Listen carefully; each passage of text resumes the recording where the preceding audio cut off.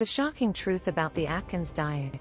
The Atkins diet has been a hot topic in the world of diet and wellness for years. While some swear by its effectiveness, others view it as a controversial and unhealthy fad.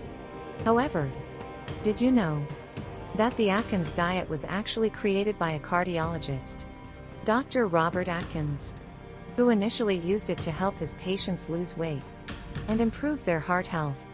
The diet focuses on a high-fat, low-carb approach, which puts the body into a state of ketosis. This means that the body burns fat for energy instead of carbohydrates, resulting in significant weight loss.